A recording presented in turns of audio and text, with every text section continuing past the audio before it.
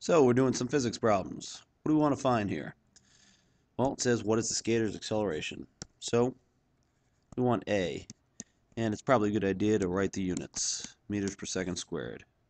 What do I know? Well, she increases her velocity from 2 meters per second, so that's her initial velocity,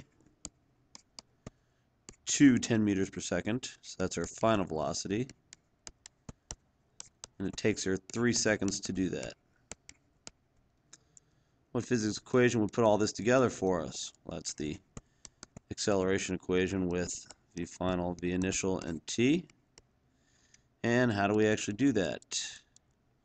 Well, let's crank it out. Plug and chug.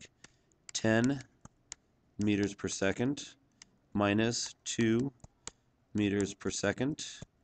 I like to put parentheses around there so I don't mess it up. Over 3 seconds equals 8 meters per second in 3 seconds.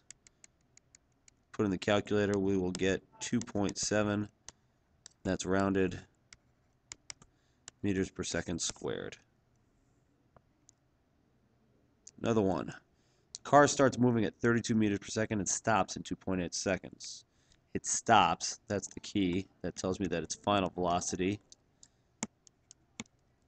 Let's put that all the way down here final velocity is 0 meters per second, so watch out for that. We want to find acceleration. Again, I'll put that in meters per second squared. Its initial velocity is 32 meters per second, and it takes 2.8 seconds to do that. What formula? Same as last time. Acceleration equals v final minus v initial all over t. Plug it in. v final is 0 meters per second. The initial is 32 meters per second. And the time is 2.8 seconds. That gets me 32 meters per second over 2.8 seconds. Using the calculator, get 11 acceleration equals 11 meters per second squared. Next problem. Catapult aircraft carrier gives an F-14 jet an acceleration of 37.5 meters per second squared. So we actually know the acceleration this time. It gets the jet from rest to 75 meters per second. So rest, V initial, my bad,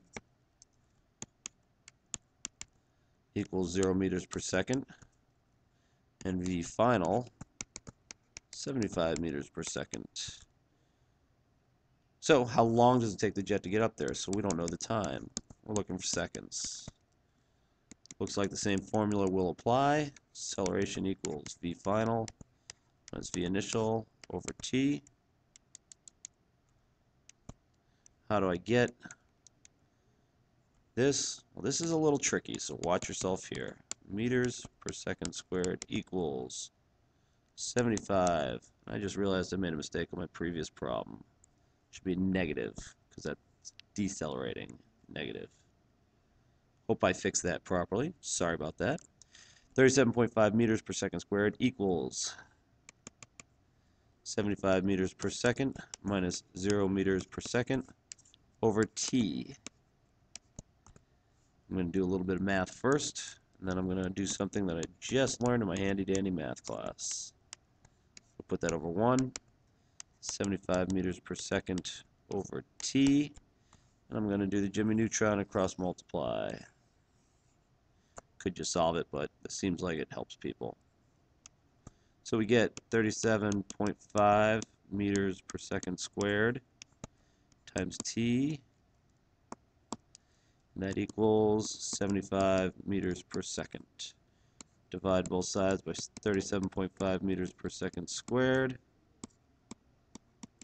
which just shockingly happens to be half of 75, and I get t equals 2 seconds. So that's pretty fast. Two seconds to get up to 75 meters per second. That'll rack your brain pretty good on an aircraft carrier. Another problem. Accelerates 9 meters per second squared takes 3 seconds. It starts from rest, so the V initial is 0 meters per second. That really only leaves me the V final, which will be in meters per second. Same formula.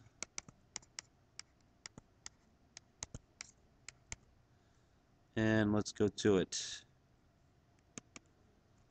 9 meters per second squared equals 0, pardon me, V final minus 0.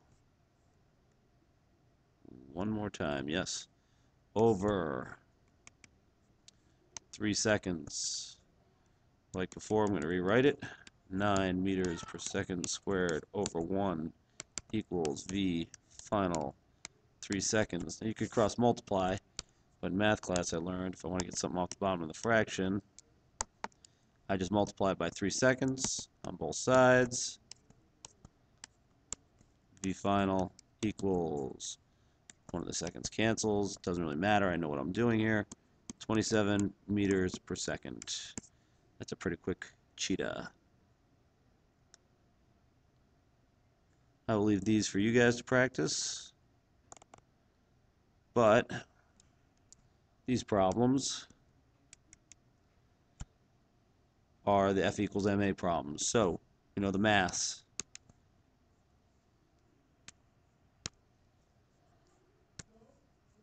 Two thousand kilograms. We apply a net force to it of 4,200 newtons. We want to know what the acceleration is. That's in meters per second squared.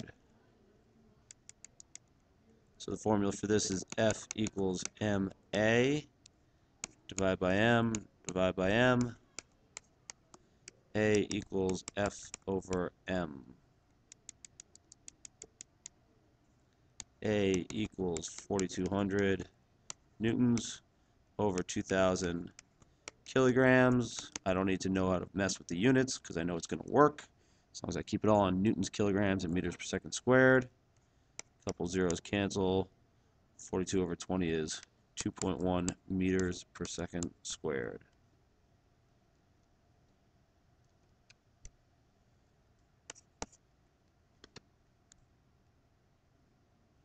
Another problem. What net force? We don't know the force. And that's going to be in newtons.